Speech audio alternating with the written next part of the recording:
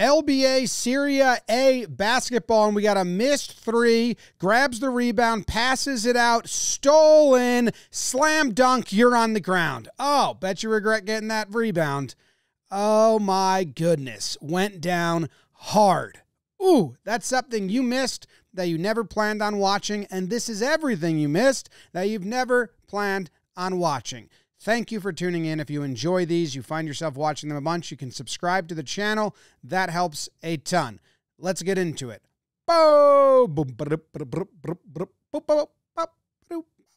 We're going to start off in the RSL where we have Al Hilal and Al Fayha playing against each other. No way I said those correctly.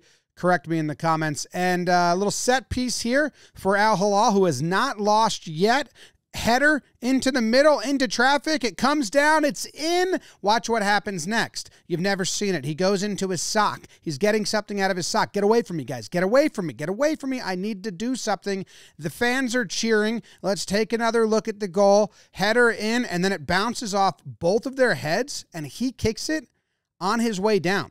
It's kind of crazy. It bounces like three times off both of their heads. It goes head, head, head, head I think twice each, maybe, and then he's able to extend his leg as he's falling, and he had a balloon in his. He was playing with a balloon in his sock. He knew he was going to score, and he was going to blow a beautiful balloon in your face. You just got ballooned. You guys didn't see that. You missed it. To the NLL we go, where Vancouver is up one over Colorado, trying to hold it down, but tie game. Right to the point right in National Lacrosse League. McLaughlin, is that his name? Yeah, well, he just scored. And he's celebrating with the crowd, and this guy's face is dangling, and it's going to go into overtime where we have a controversial moment where Colorado, no, Vancouver, has the ball, little dump pass to 45 who runs in and scores the game winner in overtime. Backup goalie's going crazy. That goalie's sad that he let in the goal. That guy he thinks a lot of things all the time. He's a constant thinker. This fan, you guys missed this. He was dancing, dancing, dancing as the goal happens, flashes his belly. Not funny because they score. Number 12, he got set up here, a little drop pass, and 12 didn't switch to his man. I mean, it's tough play.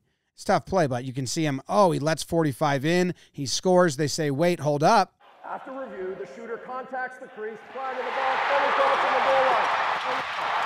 Oh my goodness, no goal because he contacts the crease before the ball goes in.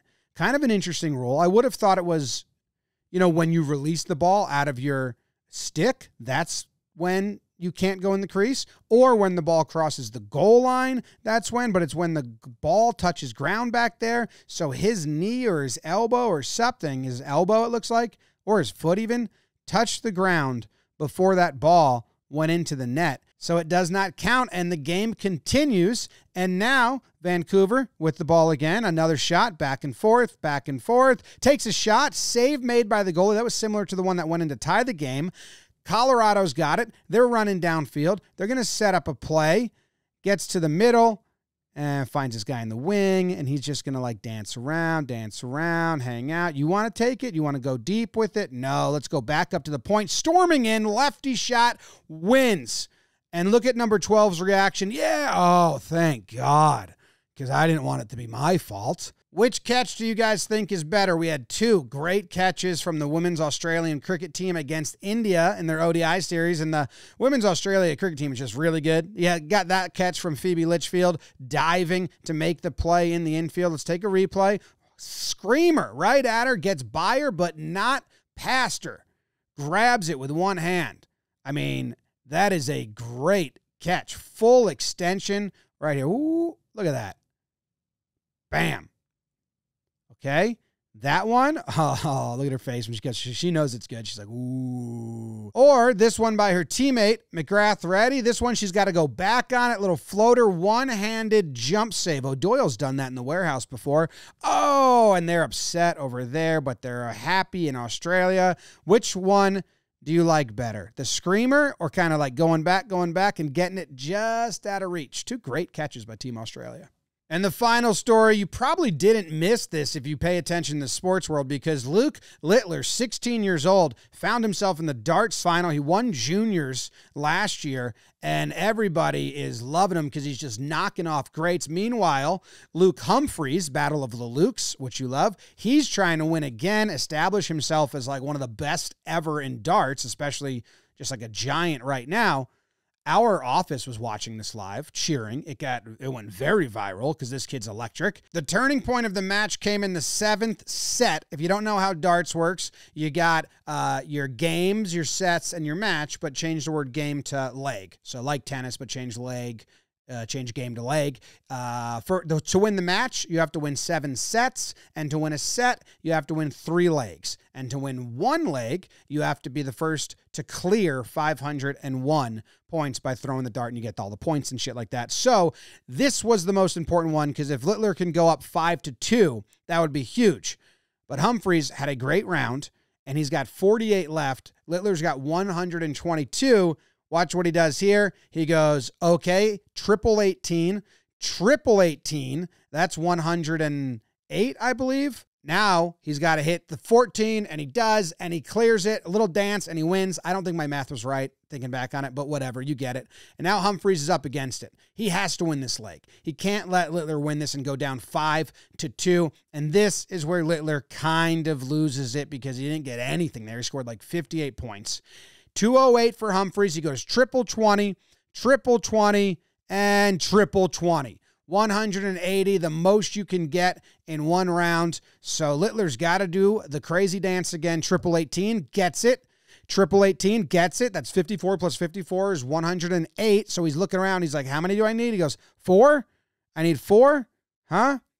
Um, four? I need four? Yes, he needs four to win. And that would be a big, big moment. Unfortunately, there's no f- slice that is four, so he doesn't have a big target. Yeah, he has to go double two, which is that red outer ring they're showing, and he would win and go up five to two, and he missed it. Look how close. He just right on the silver. Oh, that leaves the opening for Humphries to win this leg, which would win the set and now it's four to three, and Humphries never looked back. And that one toss that missed by that tiny little bit changed the entire game because Luke Humphries went on a run.